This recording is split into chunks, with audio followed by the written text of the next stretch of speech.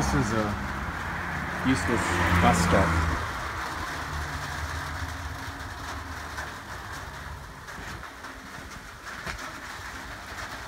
I like to come in here, sit on the orange chair, think about useless things, watch the cars go past, watch the spiders spinning their webs. Sometimes people join me, we have useless encounters.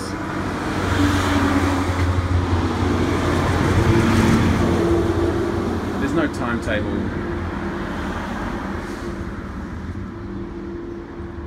Sometimes people misuse it.